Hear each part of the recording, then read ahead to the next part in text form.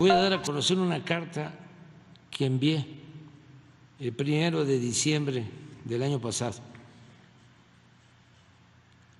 al presidente de Nicaragua, Daniel Ortega, decirles de que México siempre ha estado abierto a dar protección y hacer valer el derecho de asilo. Nuestra historia común y compromiso de México de siempre abrir las puertas a quienes lo consideran indispensables para seguridad y protección, más allá de ideologías o posturas políticas.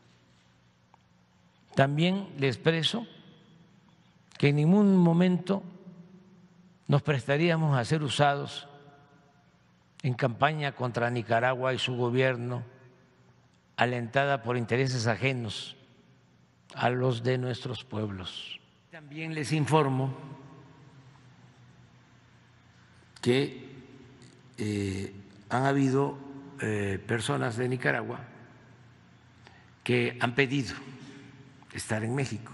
Entonces, ahora damos a conocer esto y también les informo que eh, han habido eh, personas de Nicaragua que han pedido estar en México. Eh, me lo informó el secretario de Relaciones Exteriores y me consultó y la instrucción es que todos los que quieran estar en nuestro país tienen las puertas abiertas y son bien recibidos. No hubo respuesta.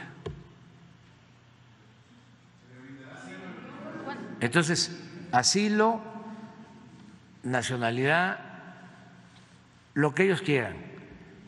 Y también coincido de que este pues